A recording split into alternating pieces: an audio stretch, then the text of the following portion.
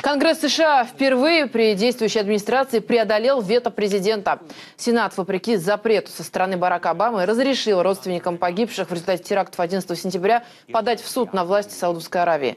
Документ, вопреки мнению демократа Обамы, поддержали его же однопартийцы. Сам глава Белого дома заявил, что принятие такого закона создаст опасный прецедент.